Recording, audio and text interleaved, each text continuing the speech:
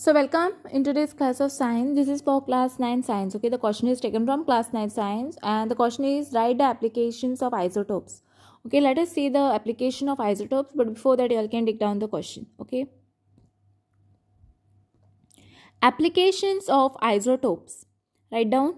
Here are some applications. First one is an isotope of uranium is used as a fuel in nuclear reactors.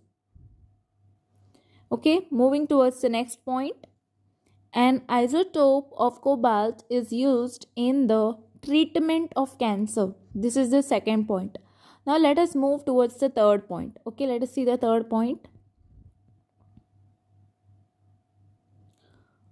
The third point is an isotope of iodine is used in the treatment of goiter.